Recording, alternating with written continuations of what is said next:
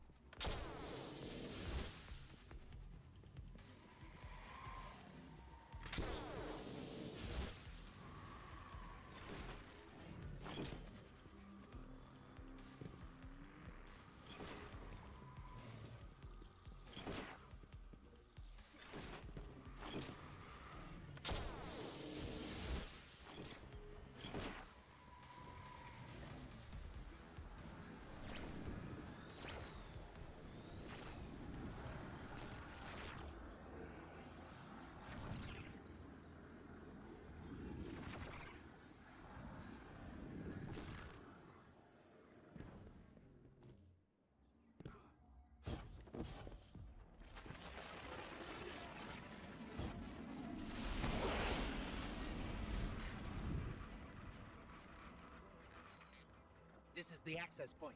Let's get rid of that Taken before it opens a path into the Cloud Ark.